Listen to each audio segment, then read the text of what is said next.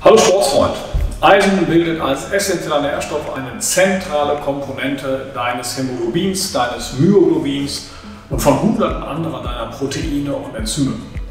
Die Funktionen des Eisens sind vielfach. Als entscheidender Baustein deines Hämoglobins und deines Myoglobins ist es zuständig für den Sauerstofftransport im Blut aus der Lunge zum Ort seines Verbrauchs im jeweiligen Gewebe sowie der Speicherung von Sauerstoff in deiner Muskulatur und deinen Muskelzellen, in denen der Sauerstoff dann aus den roten Blutkörperchen in deine Zellen und dort in deine Mitochondrien diffundiert.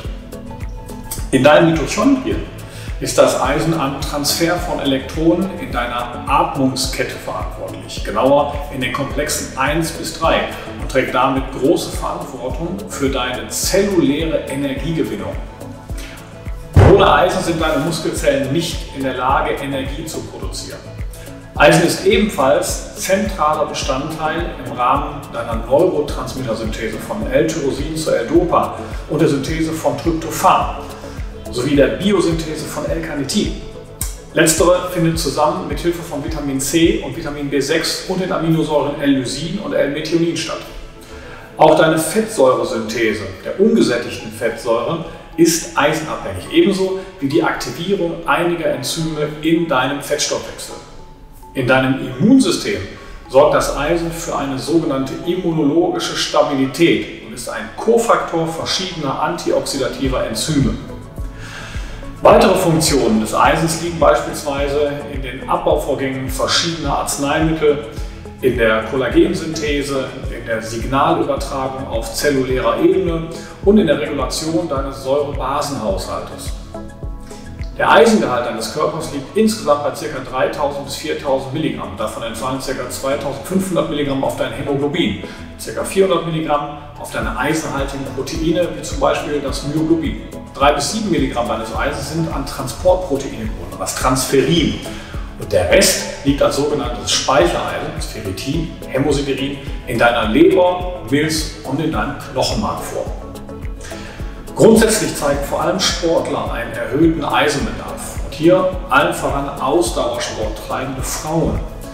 Durch erhöhte Eisenverluste über den Magen-Darm-Trakt und über den Schweiß sowie den Urin entwickeln Sportler einen deutlich erhöhten Eisenbedarf.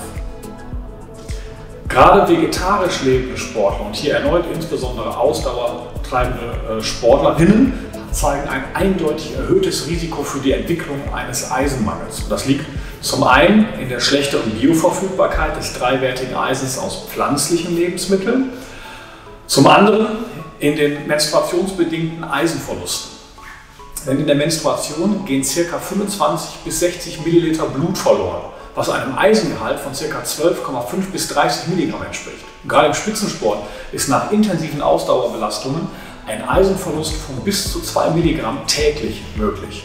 Dies geschieht über kleine gastrointestinale Blutungen sowie durch mechanische Zerstörung von roten Blutkörperchen, zum Beispiel unter der Fußsohle bzw. unter der Ferse während des Laufens. Verstärkt werden Eisenverluste durch die im Sport leider sehr häufige und ungesteuerte Einnahme von Schmerzmedikamenten, sogenannten NSAR, zum Beispiel Ibuprofen oder Diclofenac die wiederum vermehrte gastrointestinale Blutung verursachen können.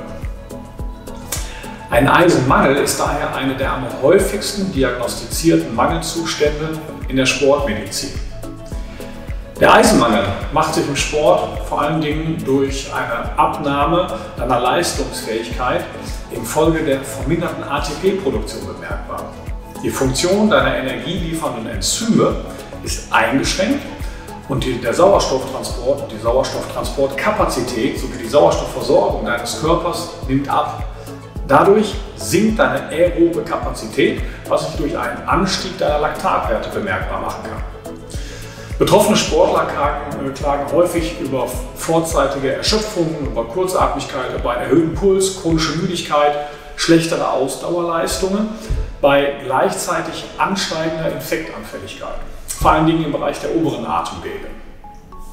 Grundsätzlich ist die Einnahme von höher konzentrierten Eisenpräparaten keine Selbstmedikation, sondern sollte stets unter ärztlich kontrollierter Labordiagnostik und nach einer gründlichen differentialdiagnostischen Abwägung und Absicherung vorgenommen werden, da eine zu hohe Konzentration an Eisen zu einer deutlichen Mehrbelastung deines Körpers mit sogenannten freien Radikalen führen kann. Und daher bezeichnet man Eisen auch als Promoter von oxidativem Stress. Lebensmittel, die reich an Eisen und somit in der Lage sind, deinen Tagesbedarf an Eisen zu decken, sind beispielsweise 100 Gramm Austern, 120 Gramm Sojamehl oder Hirse, 150 Gramm Leber vom Kalb oder vom Rind, 200 Gramm Haferflocken oder Roggen oder jeweils 250 Gramm unpolierter Reis, Weizenmehl und trockenes Obst, zum Beispiel Feigen oder Aprikosen.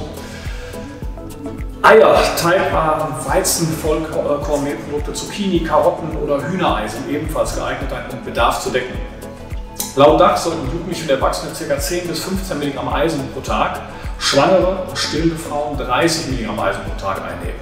Der Sportler sollte im Rahmen einer ärztlich diagnostizierten moderaten Eisenanämie täglich ca. 50 bis 200 Milligramm von zweiwertigem Eisen in Kombination mit Vitamin C einnehmen.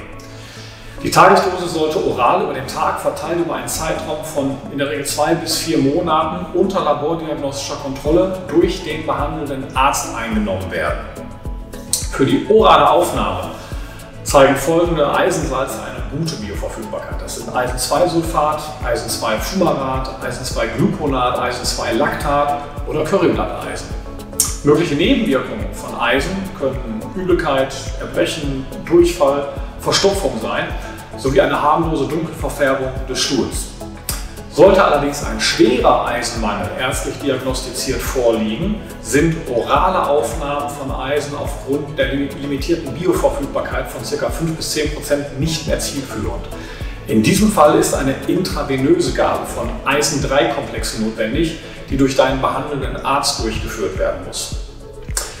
Ich hoffe, am nächsten Mikronährstoff-Mittwoch sehen wir uns wieder. Bis dahin, stay tuned, dein Doc Mosen.